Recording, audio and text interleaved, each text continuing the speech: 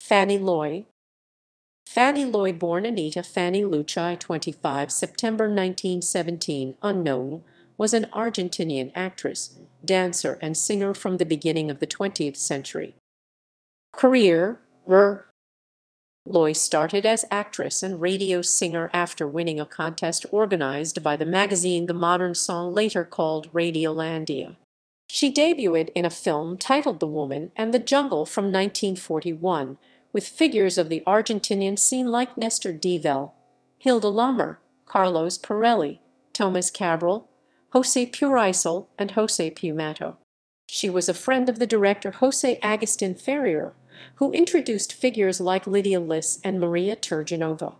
In the theater, she worked with actors like Fernando Ochoa, Alicia Vignoli, Olinda Bozán, Pablo Palitos, Alberto Anchart, Juan Bernabe Ferreira, Chas of Cruz, Oscar Villa, Miel Callo, Angel Vargas, Aída Alberti, Florén Delbene, Roberto White, Agustin Irusta, and Ignacio Corsi.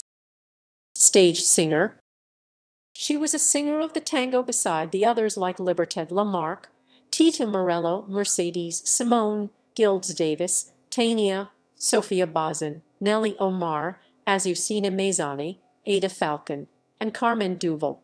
She worked with Aníbal Troilo to compose the Milonga Triste, forming a vocal quintet together with the Hernandez sisters, Carlos Vidal and Hector Vargas, giving a new sound to the interpretation of Pichuco of the beautiful work of Piana and Manzi. She stood out as a radio singer for Radio Belgrano together with other singers like Virginia Vera, Betty Caruso and Sponsorship Dias, and musicians like Manuel Sucher and Hernan Oliva. In this program, which debuted in December 1934, in a program sponsored by Productos Griot, one of her companions was the bandleader Mario de Marquate. Afterwards, she went to Radio El Mundo where she starred in the radio program The Soul that sings with Francisco Lemuto, Adhelma Falcon and Mercedes Carn. Eight months afterwards, she was in Radio Prieto where acted until the end of 1937.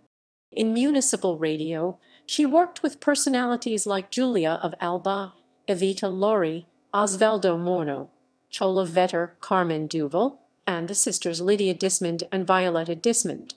In 1940, she toured the cities of Brazil that culminated in the Municipal Theatre of Rio de Janeiro. She composed some works like Resignation, Tango Humorous, Mananita Field," and I Nenita Kiss Me. Private life Loy was the wife of the Argentinian dancer Domingo Guita. Guita was a dance teacher. Equals equals references equals equals equals